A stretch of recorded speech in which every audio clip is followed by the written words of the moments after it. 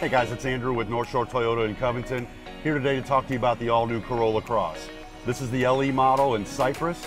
Looking forward to walking through you with it.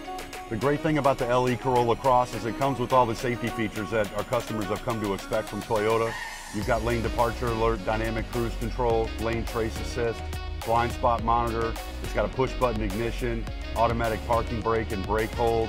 It's got Apple CarPlay and Android Auto. Even has a wireless charging pad for your phone. So this Corolla Cross comes equipped with a two liter four cylinder engine. It's extremely fuel efficient, nice compact SUV, very economical.